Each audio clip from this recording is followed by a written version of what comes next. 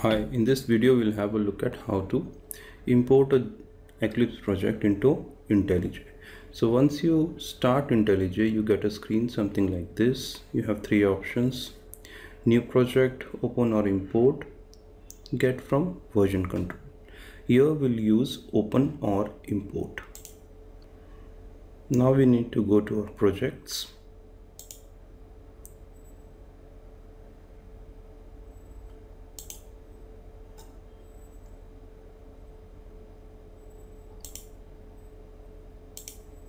click and open.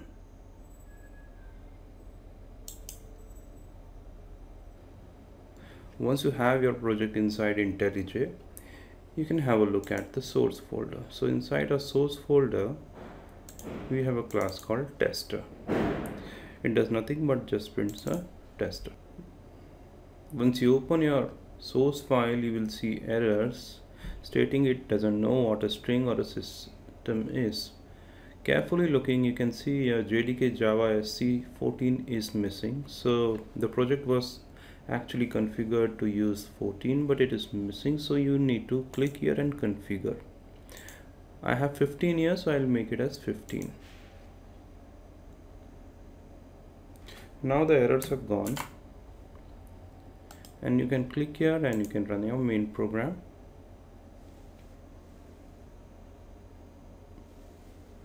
it's going to launch the program and you uh, you have tester.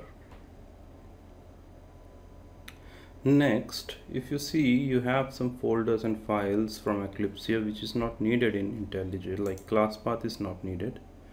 You don't need the project file and I, you don't need the settings directory. So you can actually select them and simply delete them